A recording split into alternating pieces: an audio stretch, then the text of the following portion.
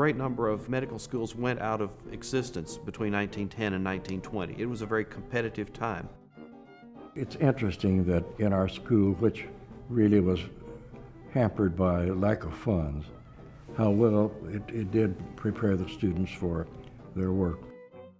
Every session of the General Assembly that I'm aware of, starting in 1910 up through the early, or the late 20s, maybe even 1930, uh, there was at least one representative who would introduce a bill to abolish the medical college.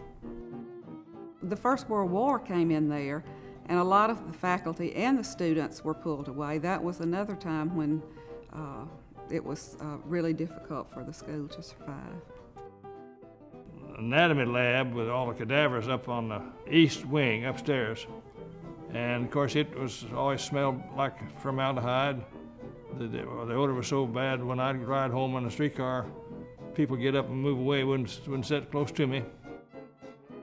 The students learned how to reconnect a colon, how to do a skin flap or a skin graft. We think of these very sophisticated, advanced things, and yet they were part of medical education at this time.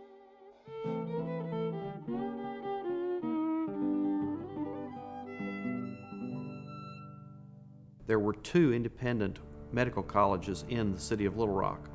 The one was affiliated with the University of Arkansas. The other was a private medical college called the Physicians and Surgeons Medical College. Abraham Flexner visited Little Rock as he visited every other site of a medical college in the United States during 1909 and 10. He then published what came to be known as the Flexner Report on Medical Education.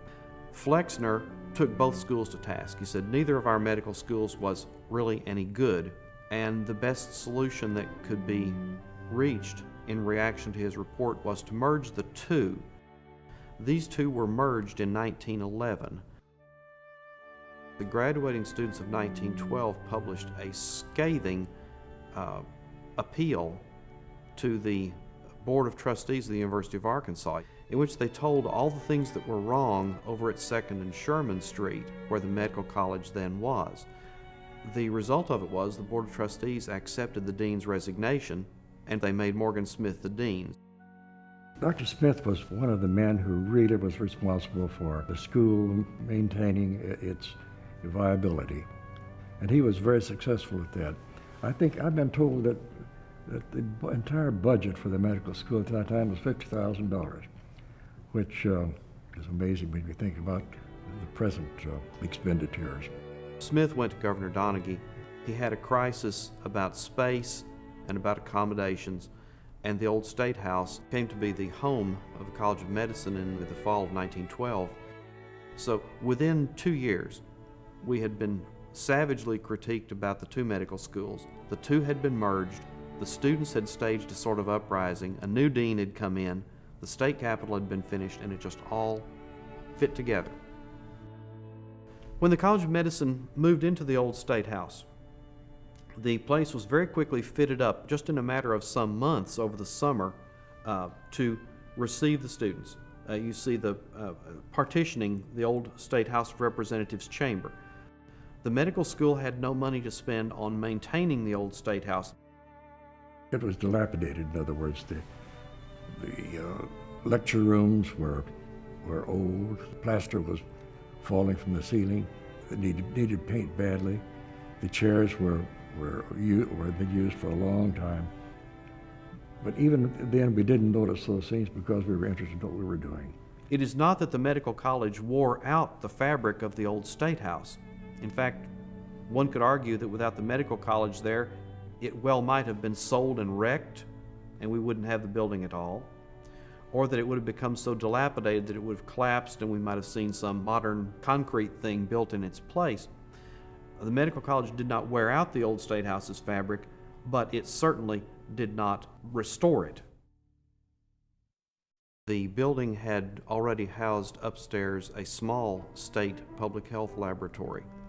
That was uh, put in in order to get a grant from what became the Rockefeller Fund uh, for the eradication of hookworm and other infectious diseases.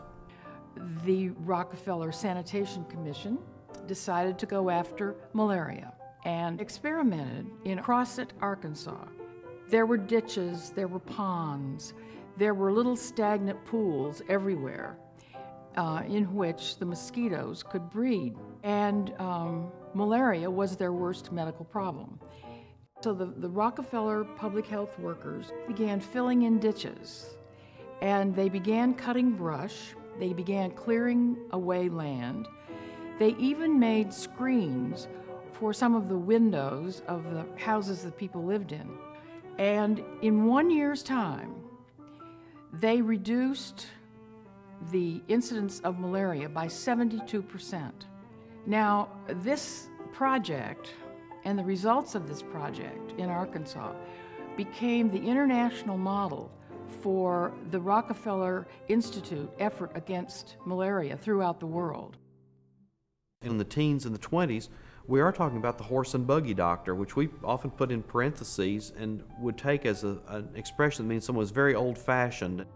The reality was that at a time in Arkansas when automobiles were a great rarity, the horse and buggy doctor was coming to your house in a reliable conveyance that cost some money to keep up, and that buggy would carry everything that a physician reasonably would need to take care of you. We're talking most medicine practiced either in the office or in house calls. I remember one doctor here, uh, Dr. Lindsay, his name was. He, uh, when cars came in, he got a car for his wife to use and for his family to use, but he kept his horse and buggy because he thought it was more dependable. Somebody called him, he wanted to be sure he could get there. If you consider the kinds of fees that physicians received, they look ludicrously low to our time. To see a physician charge a patient $1 for an office visit. But in Arkansas, in 1910 20, a dollar was frequently a day's wage. I remember that if you couldn't pay your doctor in dollars, you could pay him in other things. If you had a farm, you could give him a pig or a chicken or something. And they accepted those things. The uh, early members of the faculty really kept the, the school glued together because really most of the time the school was on probation. Had it not been for those dedicated men, this school wouldn't have survived. Dr. Fulmer, Dr. Lewis, Dr. Vincent Haler, Morgan Smith certainly. Had it not been for those men, how we survived, I don't know. But it did, it did, and it's developed into a very fine institution now.